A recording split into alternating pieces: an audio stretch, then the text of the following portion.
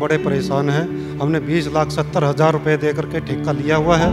और ट्रांसपोर्ट का चार लाख रुपये खर्चा आया है। और साथ में लेबर भी हमारी कम से कम अस्सी लेबर लगी हुई है। सभी हम परेशान हैं।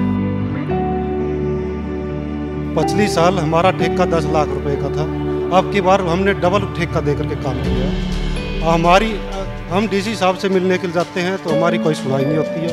हम लेटर लेके जाते हैं, लेटर भी हमें कोई नहीं दिया जाता दिया जाता हमसे पकड़ा जाता हम किसके साथ जाएँ, कहाँ जाएँ, कहाँ नहीं जाएँ?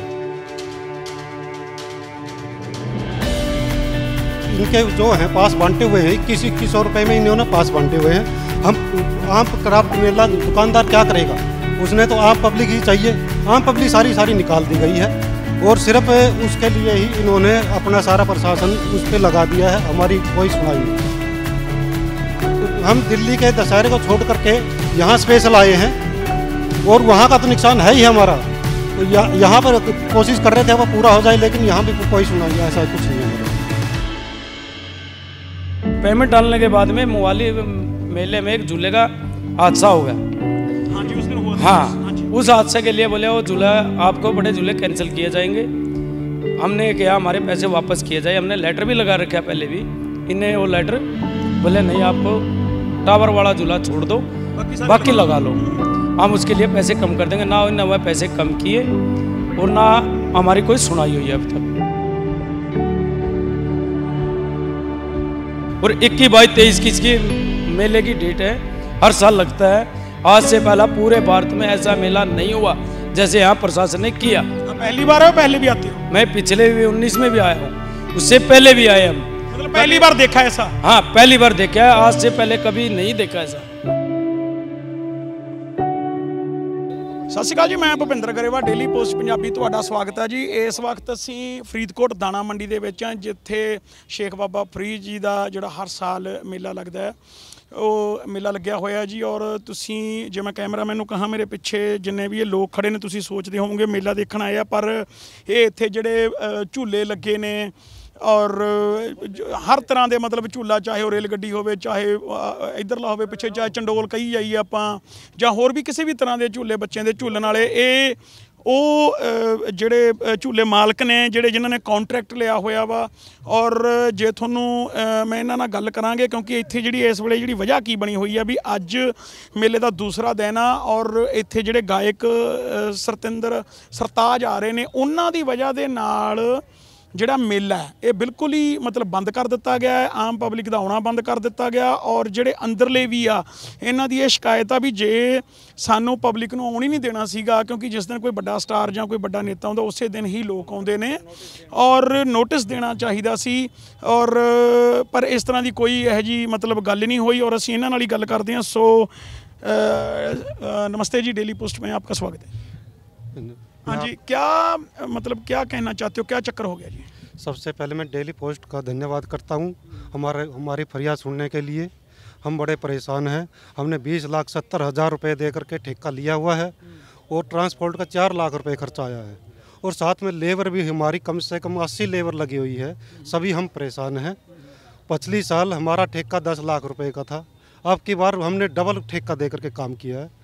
हमारी अ, हम डीसी साहब से मिलने के लिए जाते हैं तो हमारी कोई सुनाई नहीं होती है।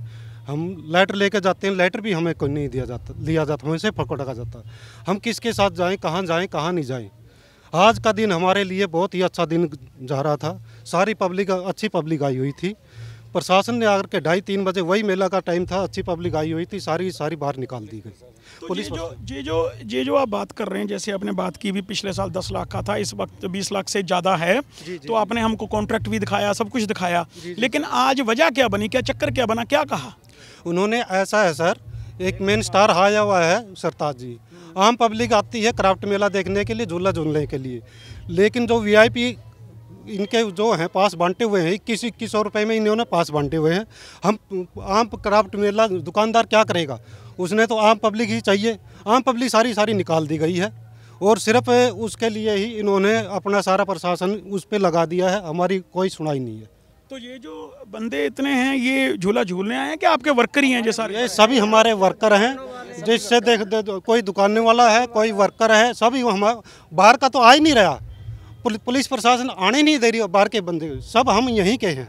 तो आपने ये अपनी जो फरियाद है आज भी बंद है किसी के पास आप लेके नहीं गए? बड़े ऑफिसर के पास उनका कुछ कहना कुना कहता हम गए थे सर हमारे पास लेटर कोई सुनाई नहीं ये हमारे पास लेटर है। लेटर के लेने से इनकार कर दिया है। हमारी कोई सुनाई नहीं है कहीं भी। तो आप क्या कहना चाहते हो? जैसे प्रशासन जैसे प्रशासन ने तो ये कर दिया क्योंकि जो गवर्नमेंट अलाउ करती है ये जो आपको कॉन्ट्रैक्ट देती है ये अंडर डीसी देता है आपको?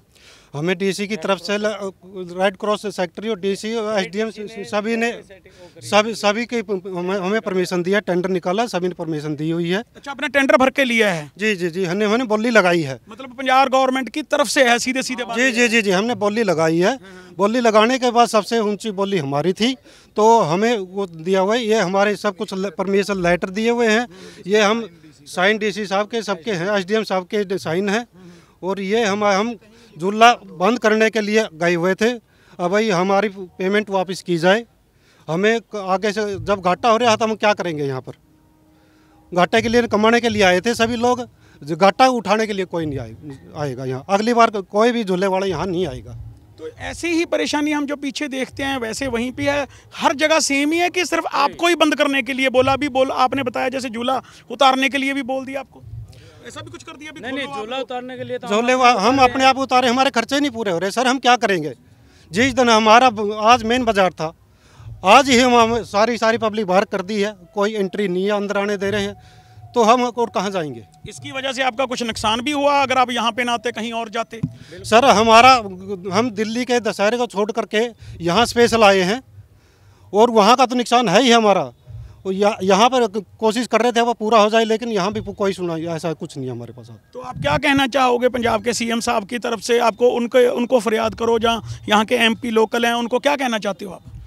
एमपी लोगों के हमारी यही गुजारिश गुजारिश है कि हमारे पैसे जितने भी हमारे दुकानदार भाई हैं या मिलने वाले हैं हमारे साथ में चलते हैं सबके पैसे वापस करवाए जाएँ आने जाने और आने जाने का ट्रांसपोर्ट का जो लेबर का खर्चा हमारा वापस करवाया जाए।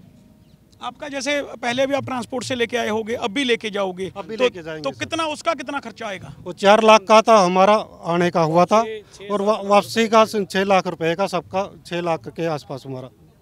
तो आप आप भी इनके साथ ही हो जी? हाँ जी हाँ जी। आप क्या कहना चाहते हो? मैं ये कहना चाहता हूँ जैसे हमारे पहले मेरे नाम से ही टेंडर हुआ था ये। जी। और इनने फ़ोन करके सेक्रेटरी साहब ने मेरे को बुलाया गया था।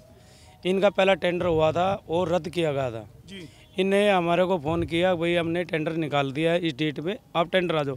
क्योंकि कोई टेंडर नहीं था कोई झूले वाला नहीं था एक दो पार्टी थी दो चार आदमी और बुला लिए उन्होंने दुकानदार बैठा के टेंडर निकाल दिया। जितने भी दुकान कोई अखबार में टेंडर नहीं निकाला ने ना किसी उसमें अखबार में या कहीं भी भी टेंडर मतलब, निकालने का नहीं फ़ोन करके बुलाए। हाँ गुपचुप हाँ। इनने क्या काम किया? टेंडर बीस लाख सत्तर हज़ार रुपये का मेरे नाम से टेंडर छूट गया। हमने पेमेंट बोले भाई पेमेंट डालो पहले। पहले किस्त छः लाख नब्बे हज़ार रुपये की थी दूसरी किस्त छः नब्बे की थी तीन किस्त बनाई छः नब्बे की।